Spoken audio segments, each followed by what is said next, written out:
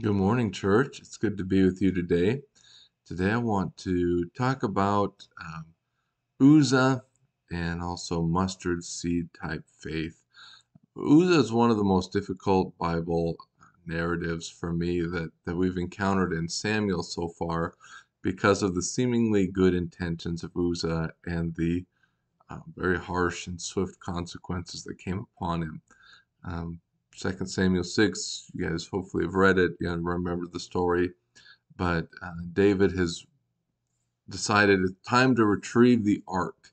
We know it had been captured quite a while ago and has been outside of uh, the possession of the king and uh, it's been in Israelite territory, but it's just been kind of left alone and forgotten for a while ever since Eli um, and his sons, they all perished the Philistines captured it, but they got sick and got terrified of the true God, so they sent it back. And so it's just been hanging out for a while. David wants to go get it, and then they mess up. If you, did you guys catch that detail? How are they carrying it back? They put it on a cart hauled by oxen.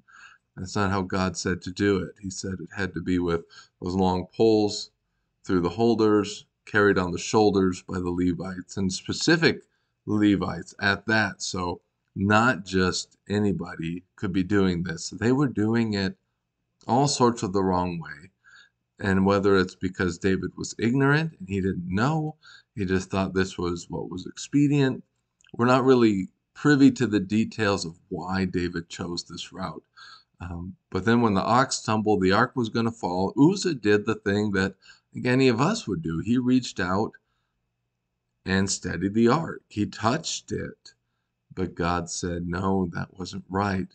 And he gave the prescribed penalty in his law.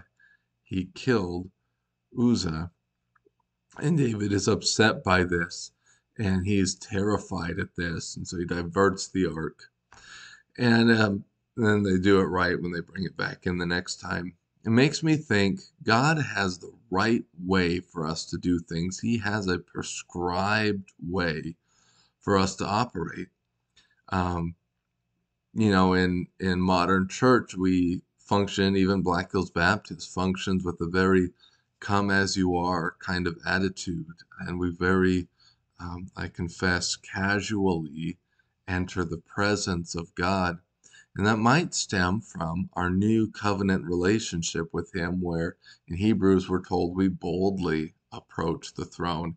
Now we're not fearfully approaching, we're not worried about touching the holy articles in a wrong way. We're not worried about worshiping in an unprescribed manner as much. I mean, uh, we could talk more about that.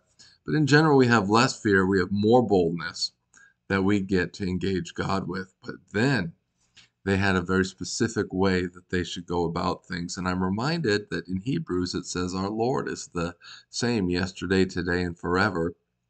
And so God is still takes his holiness very seriously. His his primary attribute is his holiness and how he sits above and beyond all things.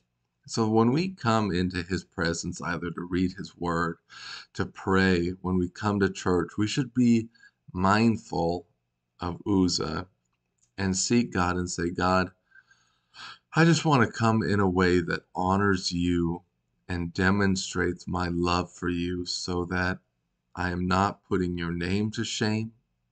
I'm not putting your people to shame. I'm not besmirching the good name of the church and the community, but rather we're lifting God up. We're honoring Him above all things, and that's our goal. And we're going to seek faith. Uh, we want that mustard seed size faith. And the disciples couldn't help this young kid and they're fighting with the dad and Jesus gets upset and they ask him, "Why couldn't we do it?" Because you didn't have any faith. You didn't have any faith. If you just had a little bit, just a little bit of faith, you could have accomplished this task and many more.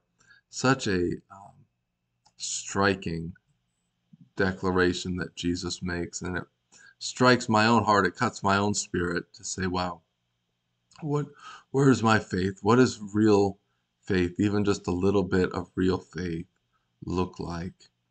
And so, church, I encourage you to search your hearts here today and, and just pursue God and pursue Him in real faith, the kind of faith that would step into the Jordan River when it's at a flood stage, the kind of faith that would march around Jericho, the kind of faith that would trust God with our very lives, trust Him to do things His way and not our own.